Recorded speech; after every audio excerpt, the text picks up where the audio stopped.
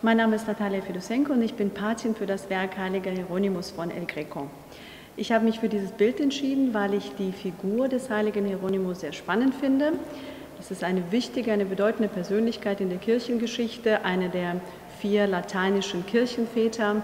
Er war ein spannender Mann, ein sehr kluger Mann, ein Philosoph, ein Gelehrter, ein Polyglott, der seinerzeit viele Sprachen sprach. Und eine seiner wichtigsten Leistungen ist sicherlich die Übersetzung der Heiligen Schrift der Bibel ins Latein. Und die diese sogenannte Vulgata, die bildet heute noch eine maßgebliche Grundlage der katholischen Kirche. Aber Heiliger Hieronymus war auch kein einfacher Mensch. Er, war, er hat ein sehr asketisches Leben gelebt, er war aber auch sehr temperamentvoll. Er hat übrigens auch nicht mit der innerkirchlichen Kritik gespart, was oft zu Spannungen geführt hatte und am Ende vielleicht auch dazu, dass er sein Leben lang trotz seiner Bedeutung einfacher Priester blieb.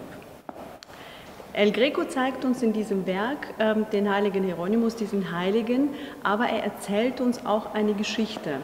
Ähm, der Hieronymus wird spärlich beleuchtet dargestellt und ist umgeben von, von den Attributen, die symbolisch für sein Leben und für sein Lebenswerk stehen.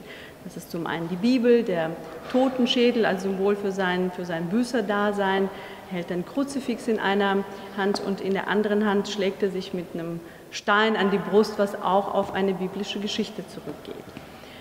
Ähm, insofern ist es ein sehr spannendes Werk, was das Leben vom Heiligen erzählt, aber auch ähm, ein, ein sehr ausdrucksstarkes Bild ist, weil wir ne, auch die, die asketische Strenge des, ähm, des Heiligen sehen. Das kommt sehr, sehr gut zur Geltung. Und ich glaube, dass es wirklich eines dieser Werke ist, die man nicht so schnell vergisst, wenn man es einmal gesehen hat und ähm, das möchte ich tun. Ich möchte in den nächsten Wochen und Monaten den Menschen die Geschichte vom heiligen Hieronymus erzählen, aber auch etwas ähm, über das Kunstwerk von El Greco, das einen festen Platz in der Kunstgeschichte hat.